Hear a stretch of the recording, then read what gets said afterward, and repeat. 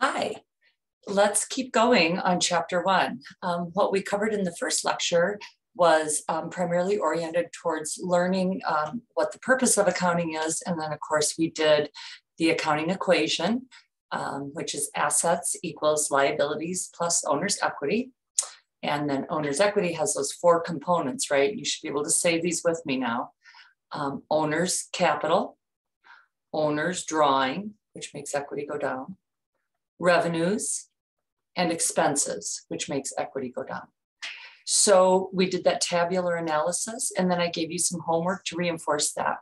What I'd like to do is show you where you should have um, reviewed your work. Um, here in chapter one, solutions manual, uh, if you open that, you'll see that this is the um, solutions manual. So the four things that I asked you to do, you'll go and um, make sure that you did them correctly. So um, after that, you will have had a chance to have done this tabular analysis uh, for four times. So hopefully um, that you feel very comfortable with that. And we're gonna move on to what do we do with that? And what we do with that is we create financial statements. And financial statements is the way that we pass information on to our um, users of our data. So um, there's three basic financial statements that we're going to be looking at.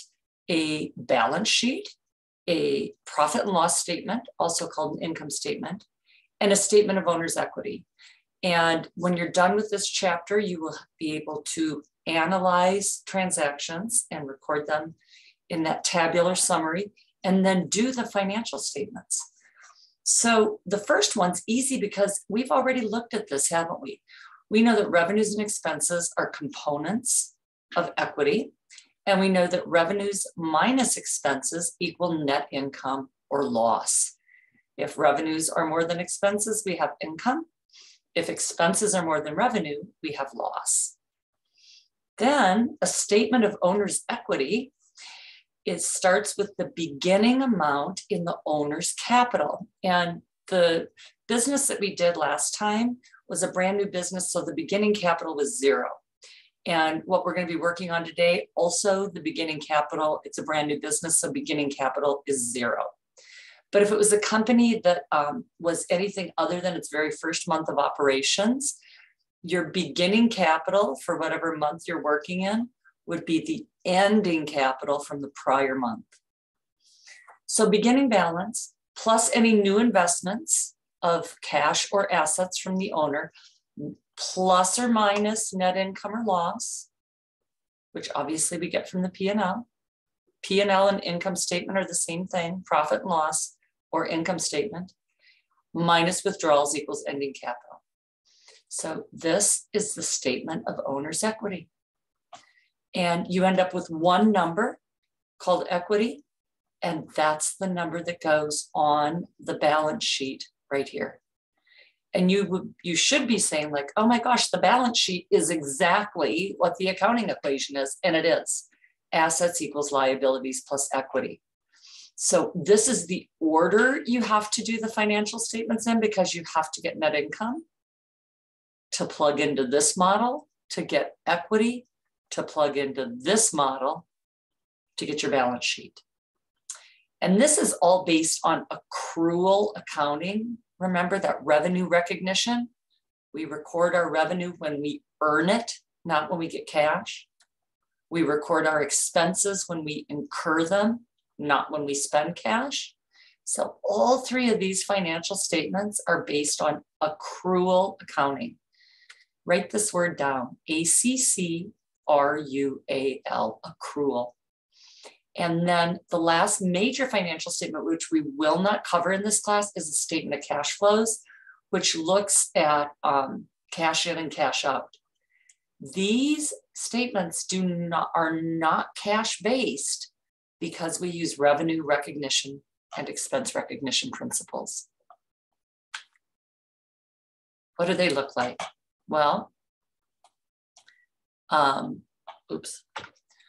I think what we were looking at before was um, a company called, it was that web based company that we just did the tabular analysis on in the last um, lecture. So here's my income statement, also known as a profit and loss. Please note that all financial statements have a three part heading name of the company, name of the statement, and then the time period covered. Both the P&L and the statement of owner's equity are for the month ended or for the year ended or for the quarter ended. The balance sheet is a snapshot of a point in time. So that is simply the date. You don't write the words for month ended. So we know that an income statement model, and again, I can go back here and look at this, is revenues minus expenses. So here we go. Revenues minus expenses equals net income. If you remember, there were two kinds of revenue, consulting revenue, and then they rented some of that extra square footage, remember, for 300 bucks. So our total revenues, 6,100. Put the detail here in the first column and then pull the total over to the far right and label it total revenues. New section, expenses. Then you put all of your expenses, they're in alphabetical order. And if you recall, again, we had two expenses, rent and salaries. Again, detail in the first column, total them up, pull it to the right, and then simply take revenues minus expenses equals net income. Now, second financial statement, statement of owner's equity, beginning capital plus investments, plus or minus net income minus draw. My beginning capital was zero because it's a brand new business. My investments, 30,000. My net income, where do I get that? Well, I just calculated it. I pull it down here. Detail in the first column, pulling out all your additions to the right-hand column.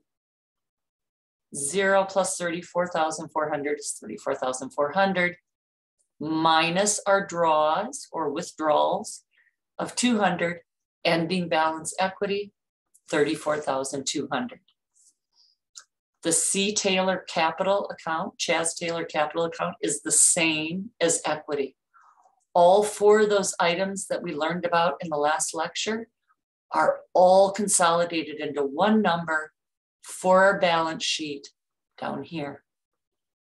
If you remember from our tabular analysis, we had three types of assets, cash, supplies, and equipment. Total 40,400. One kind of liability, accounts payable, we owed a vendor for some supplies and our capital. And of course, liabilities plus equity also have to equal the same amount. This right here, this screen, if you need to print it and study it or memorize it, whatever you need to do, this is absolutely paramount to moving forward in the class. Um, the balance sheet is used to extrapolate to the statement of cash flows. Again, at this point, you are not going to be required in this class to know how to prepare one.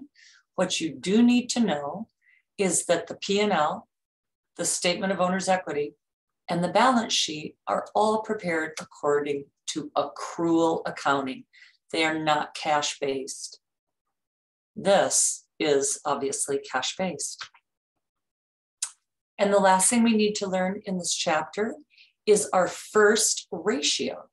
Ratios are a way of looking at the financial statements and helping us to understand a little bit more um, what's going on in them. It makes meaning of all the data that we find on financial statements. So the first one we're going to learn how to do is called ROA, return on assets. And that means how good of a job are my assets doing in um, generating net income? Because that's basically what we're in business to do, right? Is to generate net income. So the model for ROA is net income divided by average total assets and your average assets are your beginning and ending assets divided by two. So um, they're just showing you like Nike versus Under Armour. um, what their ROA has been over time. So obviously you want to track this as a business. It's a pretty important ratio. Two years ago, 19%, then it took a huge dip. So that would be a very concerning um, trajectory for management to look into. Why is that happening? And jump back up. For Under Armour, the negative number means they've been having a net loss, right? So it's net loss divided by average total income, that average total assets. That's why the number is negative. Also concerning.